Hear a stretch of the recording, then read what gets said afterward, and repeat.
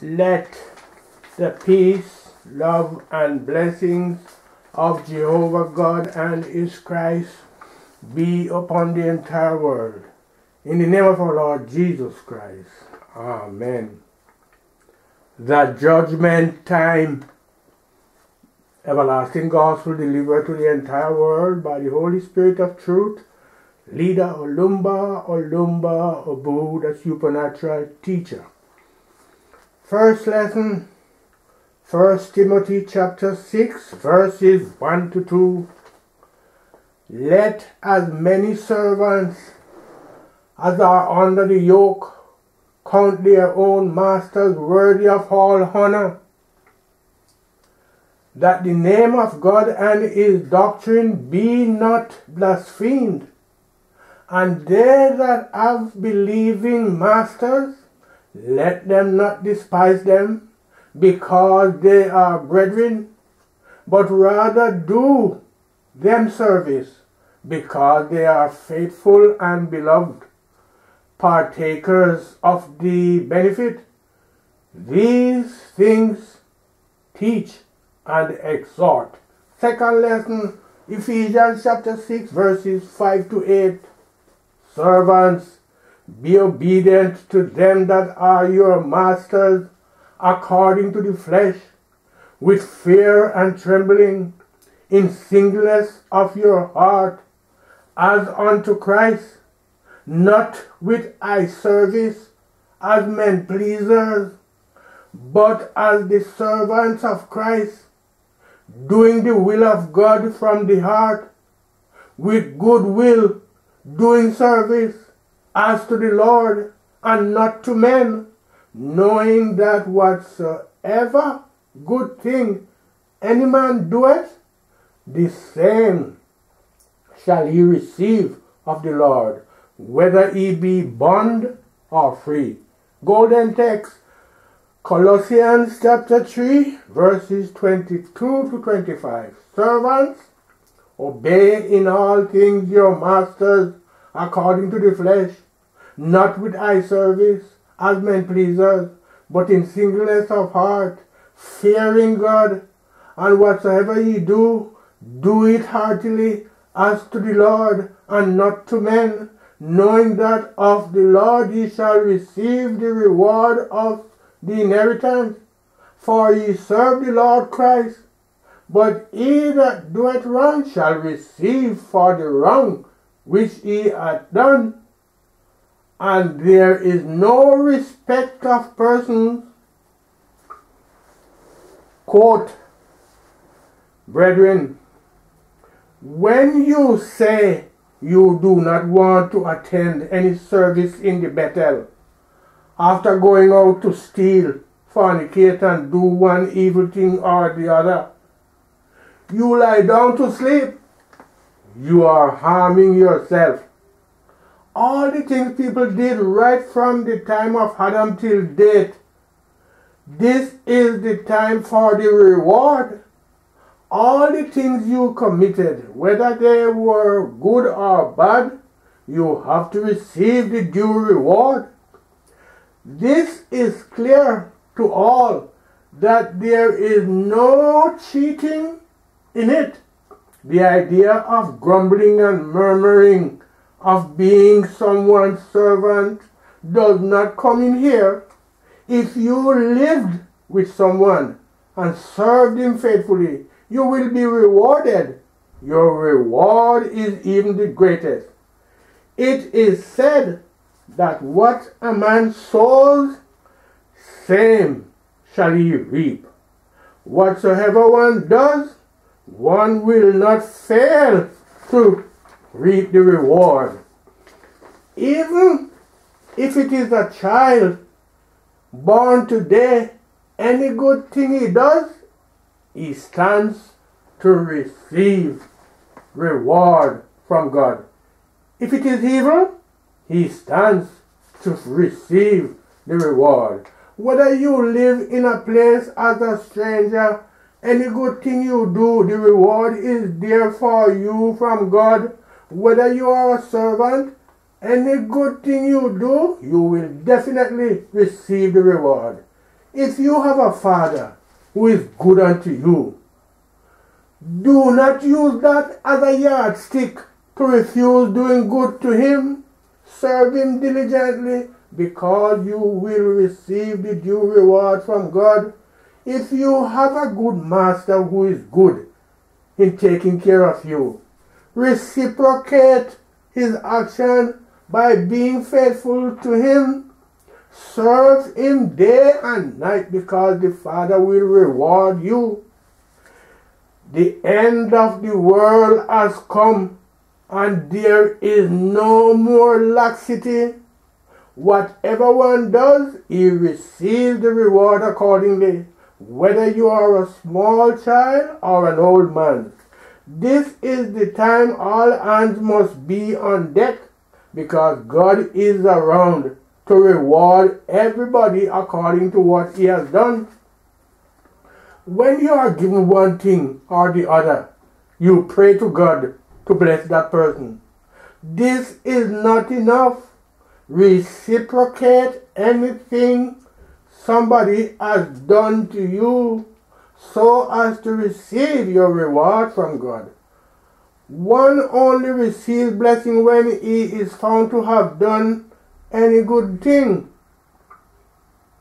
When you find yourself watching over another man's estate, do this diligently. If you are a gardener to someone, do it wholeheartedly.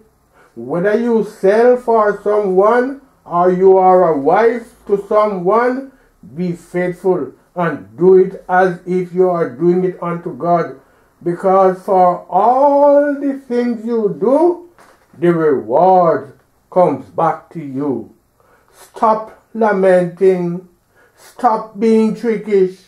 Stop stealing and telling lies. Stop killing people because whatsoever you do, the reward comes back to you. Engage yourself in good services because God, the rewarder, is around taking record of whatever thing you do.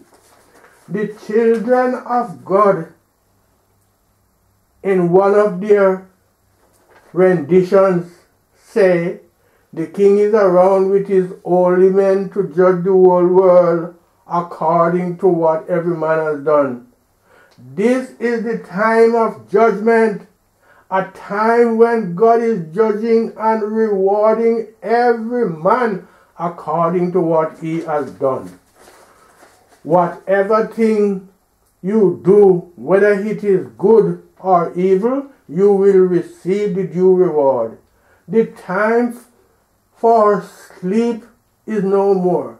The time for evil is no more. There is no time for laziness. The time of gossip has gone. This is the time to do only the things which are good. Let everyone be steadfast in doing good, so that he may receive good reward from the hands of God. This is not the time for a child to serve his father, or the father to serve his child. This is not the time for a husband and wife to serve each other. It is not the time for a servant to serve the master, but this is the time when everyone has to serve God diligently because for all the good things you do, you will be rewarded. This is the time you are judged for what you have done. In 1 Peter chapter 3, verses 3 to 4, it is stated that we should be examples to the world. It says, Whose adorning let it not be that outward adorning of plaiting the hair and of wearing of gold or of putting on of apparel, but let it be the hidden man of the heart in that which is not corruptible, even the ornament of a meek and quiet spirit, which is in the sight of God. of great price. Brethren, with this advice, we should be watchful of what we do. The sheep which are entrusted under your care, you have to take good care of, so that when the chief shepherd comes, you may receive a crown of glory which fades not. This is the time to receive praise from God for the good things we do.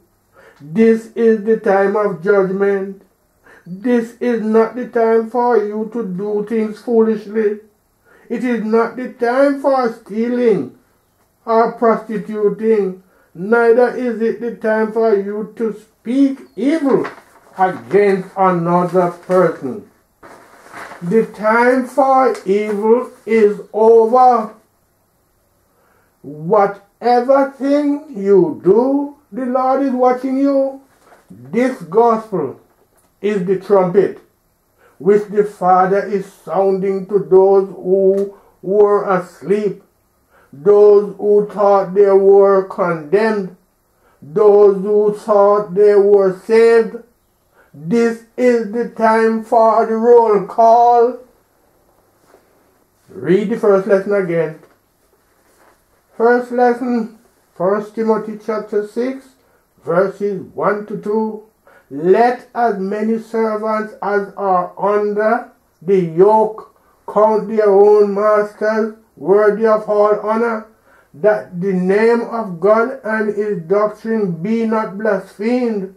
And they that are believing masters, let them not despise them, because they are brethren, but rather do them service, because they are faithful and beloved, partakers of the benefit. These things teach and exhort.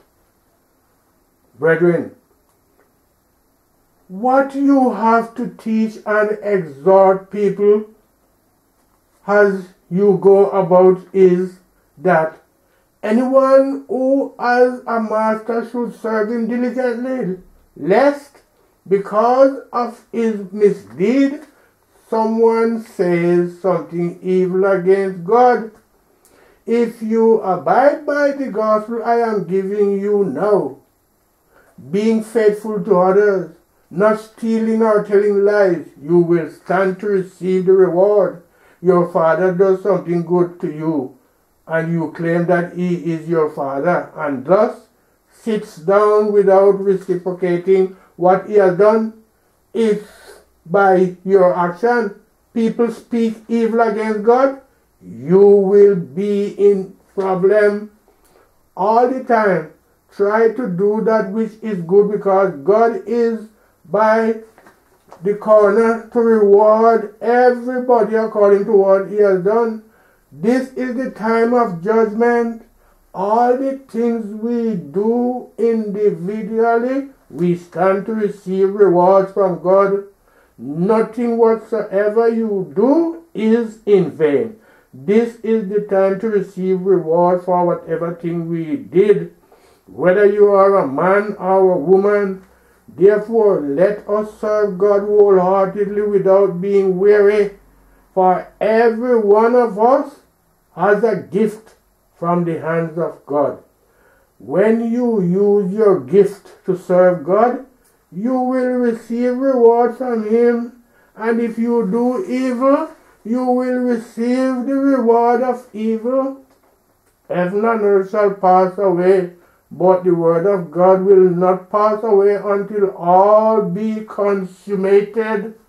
You have heard of a man who had three servants, and when he wanted to embark on a long journey, he gave the first servant five talents, the second two talents, and to the third he gave one talent. The one who received five talents traded and made a gain of five more talents. The one with two talents traded and had two more talents again as gain.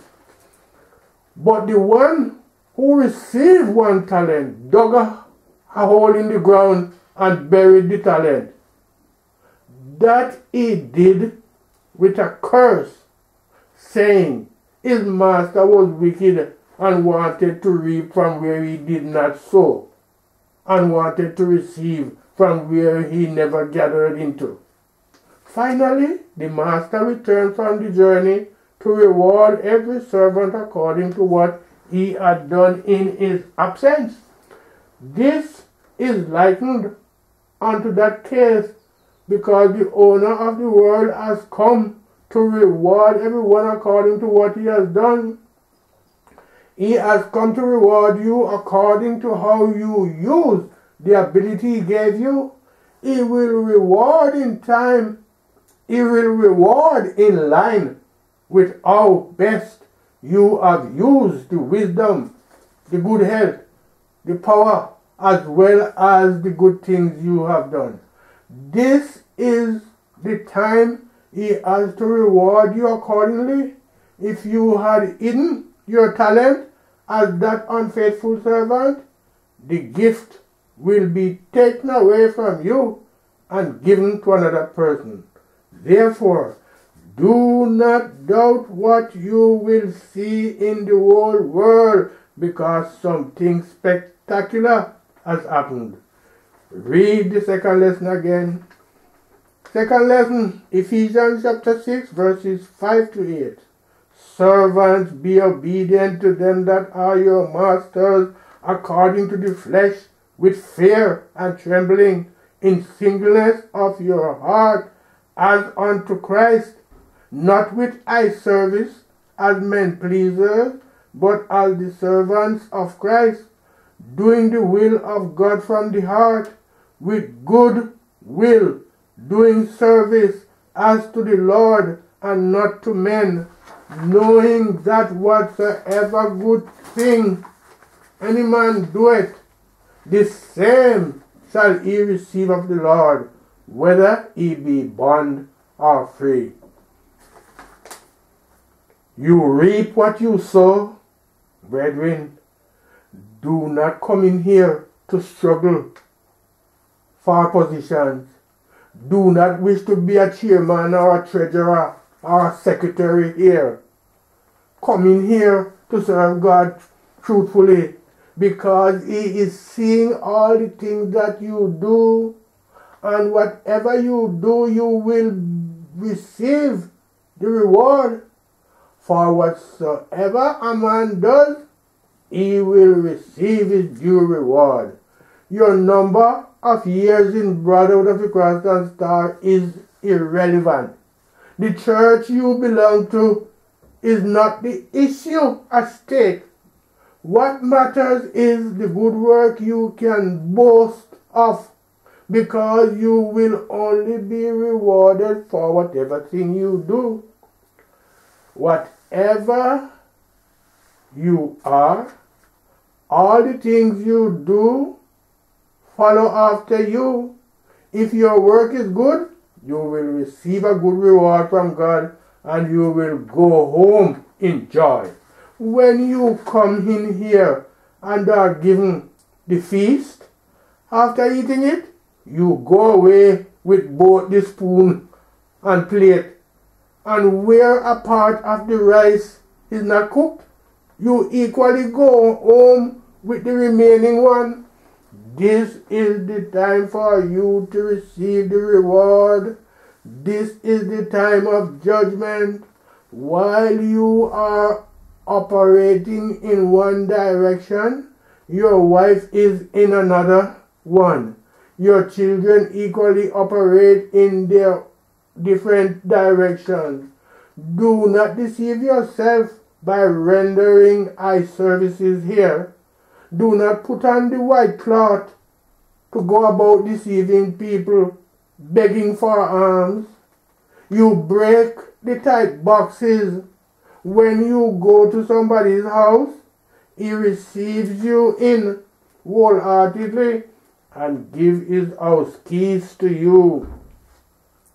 The moment he is out, you bolt away with all his belongings. You are surely going to be rewarded for all those things in no distant time you will soon see what will happen. All the evil ones will be eliminated from the surface of the earth. In the nearest future, there will be no more evil. And so, even as you come in here, if you are not ready to receive these teachings, you are not doing any person any harm but yourself. And if you do not practice them, will you receive the blessings meant for those who practice these teachings?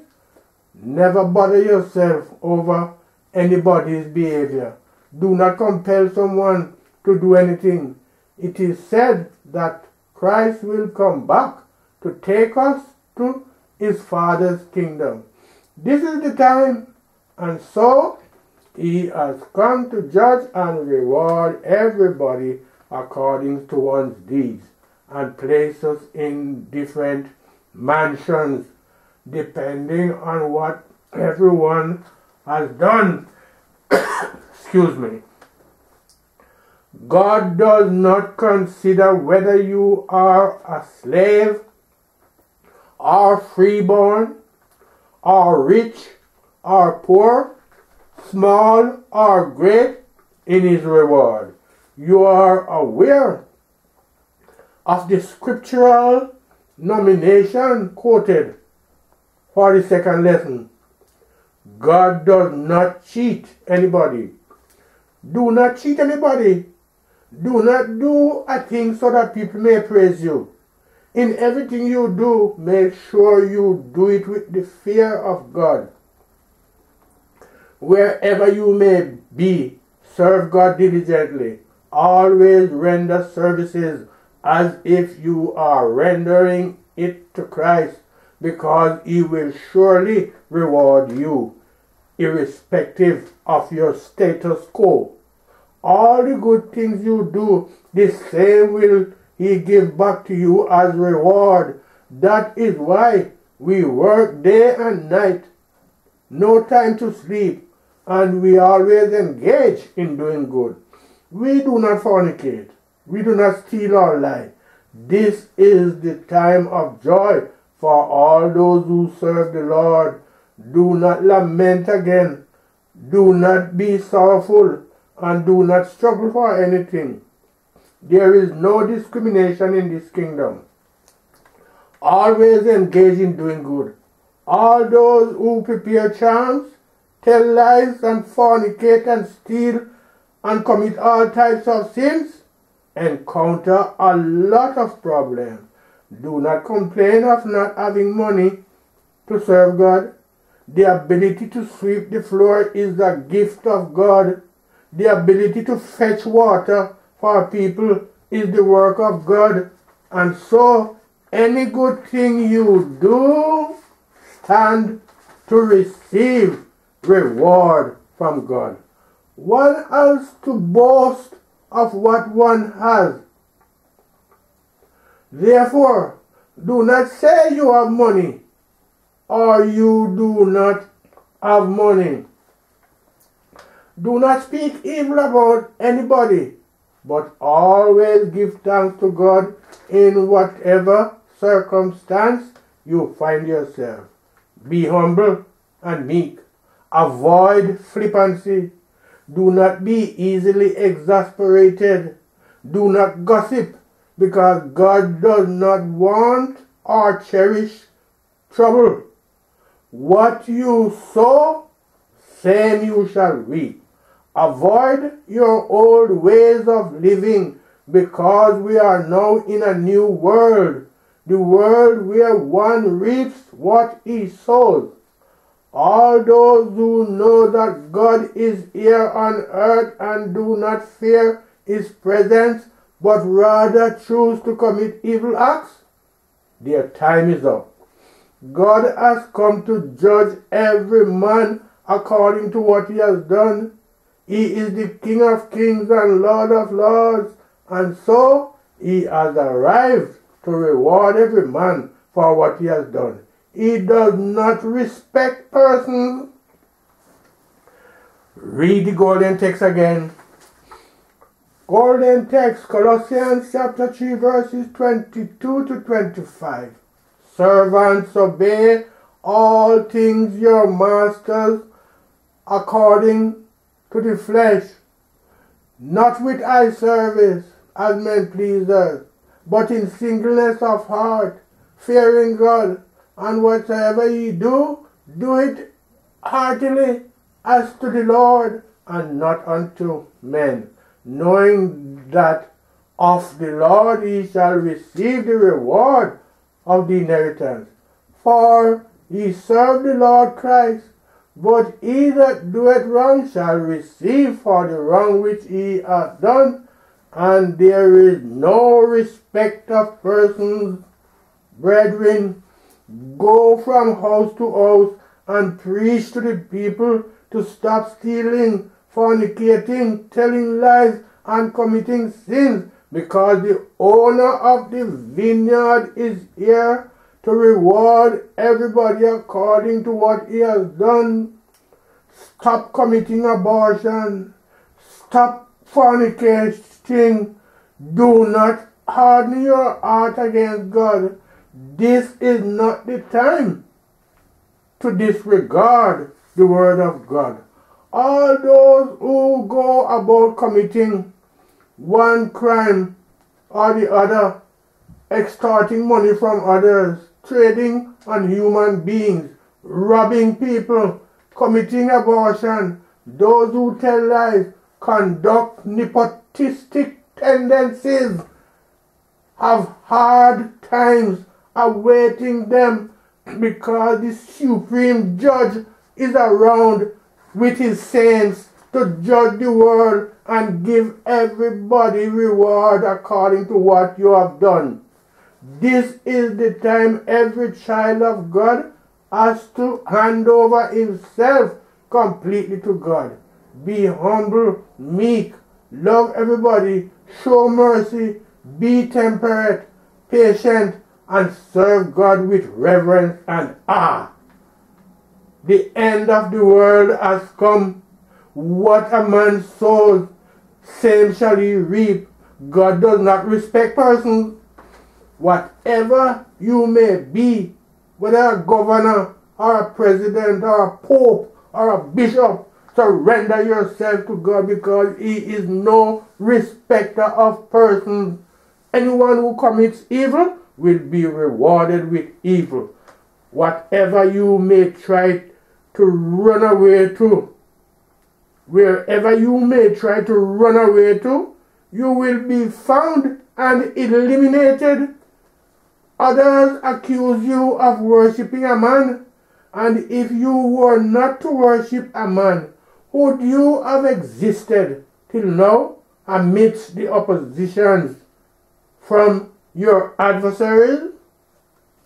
Wherever you may be, the Father is right there in the air, whether in water, in the house, or in the office, or in the bush. Indeed, everywhere you go, He is with you. Therefore, surrender yourself completely to Him so that you will witness His glory in you. All those who engage in sins realize that God is watching you and is and is with his reward.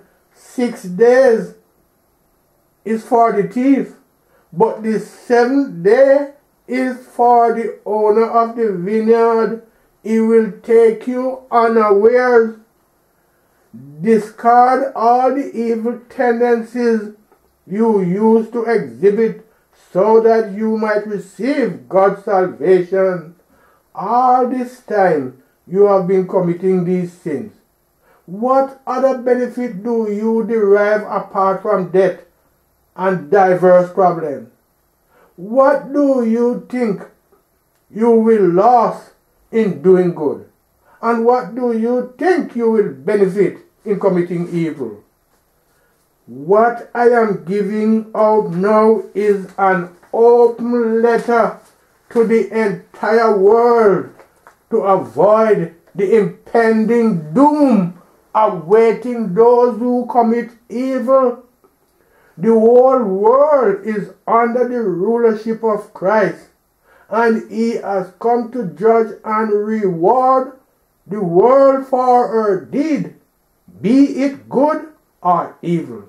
Christ has good rewards to give to them that reverence and fear him.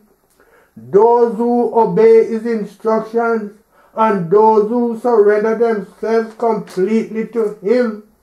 But to the proud and arrogant, those who do not fear him, people who continue in committing evil, he has equally come to give them reward which is commensurate with what they have done.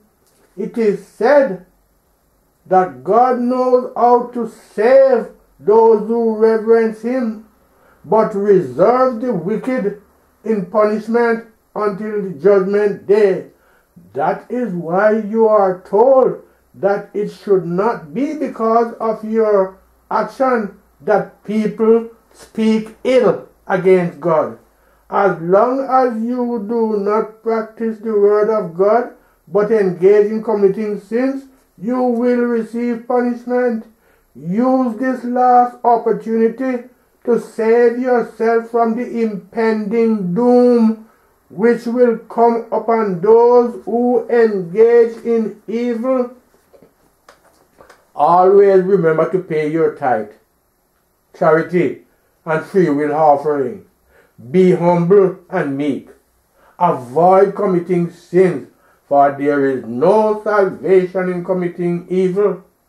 God is the Almighty. Recall how he hardened Pharaoh's heart so as to destroy him. He sent Moses to Pharaoh to seek the release of the Israelites. After proving his potency over Pharaoh, he released the Israelites.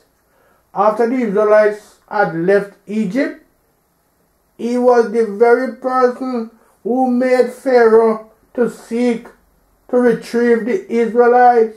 And so Pharaoh went after the Israelites. When the unarmed Israelites saw Pharaoh and his troops of army coming after them, they lost every hope of existence because they had the Red Sea as a barrier to their escape. God, however, exhibited his power by commanding Moses to strike the surface of the sea with his staff, and immediately the sea was divided into two. This was how he saved his people. But for Pharaoh and his strong army, he buried them inside the sea even till this day. Therefore, he knows how to salvage those who fear and reverence him, but the wicked he preserves for judgment and condemnation. Christ is the same yesterday, today, and even forever. All the things that happened were so made to serve as examples to those who had the intention of committing the same thing. Therefore, this gospel is an open letter to the inhabitants of the world to stop committing evil because the owner of heaven and earth has come to judge the world and reward everyone according to his deeds. The fear of God is the beginning of wisdom. Those who are here should go out with this gospel and disseminate it to others so that sinners may take stock of it and save themselves from the impending doom awaiting those who commit evil. What is surprising most is those who call themselves brothers of the cross and star yet refuse to believe in God. They continue in committing sins. What do you think about your life? You have been told not to be afraid of anything that can kill the flesh, but cannot harm the soul, but only fear he who is able to kill the flesh and cast the soul into hell fire, and that of a truth is God. Are you not afraid of the presence of God on earth? You are hearing the daily happenings on this global earth, yet you do not want to save yourself. Be informed that there is no forgiveness for the sins you have committed after knowing the truth. Spiritual chorus. The battle is not fierce. The battle is not fierce. I will cross over the river with my sheep. Brethren, Jesus is a warrior. He will fight and conquer for his children. Beloved, it is said, a stroke of the cane is enough for the wise. He was ears, let him hear what the Holy Spirit has imparted to the world. May God bless his holy words. Amen. End of quote. Peace in the name of our Lord Jesus Christ. Amen. Thank you, Father.